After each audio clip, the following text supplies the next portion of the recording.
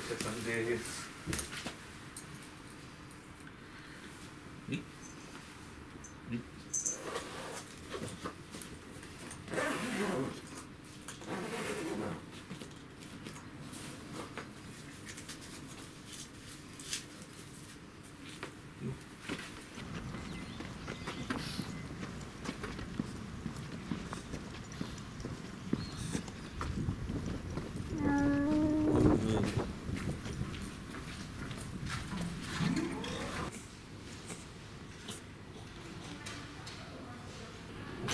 古谷さんはい。はい、すいません。調子は？えっ、とね、4月の22日から、4月22えっ、とね、飲まず食わずなんですよ。え今まで？いやそ、そんなことないです。それで、あまりにもひどいんで、月曜日にですね、あの、借り付けのお客さんに、抗生剤注射と、あと、ブドウ糖の保液をしてもらって、それから食うようになってます。一応、こちら、あの、入れたものを一応、それぞれ日付、一応、貸してもらしますんで、そしたら預かっちゃいますね。え、すいませんが、じゃあこちらですね。はい。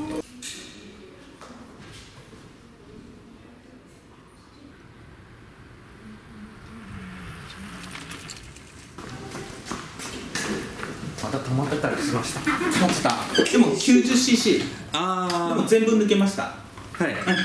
まあまあ100いないと思うんね。あーで、えっ、と腎臓も悪いんだけど、うんそんなに猫なので耐えれるぐらい42.4の0ああ、はいはい。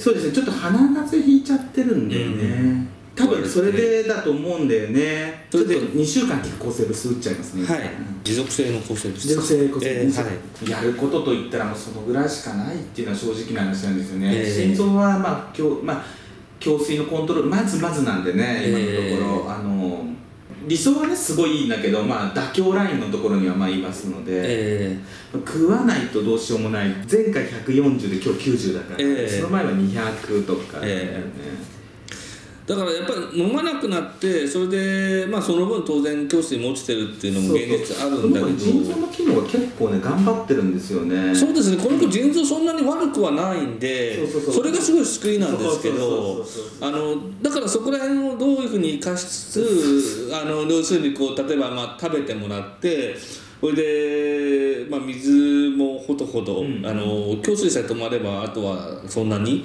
難しいことはないのかなって思う反面でもその胸水が全然こうやっぱり今日も90っていう話だとすると。今日ちょっとねカリウムが低いんでカリウム製剤の飲み薬があるはずなのでちょっと見て、ええそれかそうかなと思います。そうですね、ちょっと血液の中のこの栄養状態が悪いんですよね、すごく。それも先生にも言われて、一応カリウムと、はい、えーアルギニンロイシングルタミンイソロイシン一応ビタミンとかも入ってますので、はい。これがいいかなと思うんですね。わかりました。えーっと4点。1回 1cc をいい最低1回。最大3回、はい。栄養剤みたいなもんです栄養剤と、うん、あとは体の塩分のバランスを整える。ああ、はははこれが一番犬猫用の栄養補助品なあ、のでわかりました。ち。ょうどいいかなと思います。了解しました。痩せてますね。そうなんだよね。これ食べてほしいんだけどね。だけど、やっぱり水が少ないから食いが悪いんですよ。かといって水多くやっちゃうと胸水溜まっちゃうしもう 本当にすごいなんかもう悩み多い子なんだよね。はい。お願いします、じゃあよろしくお願いします、ありがとうございます。ドヨーンって感じだな、ドヨーン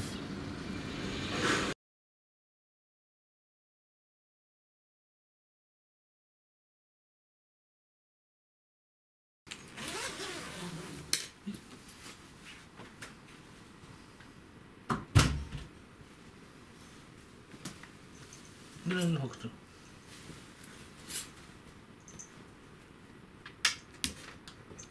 おおふらふらしてる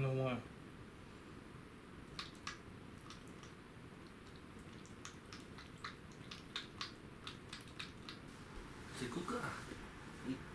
いいはい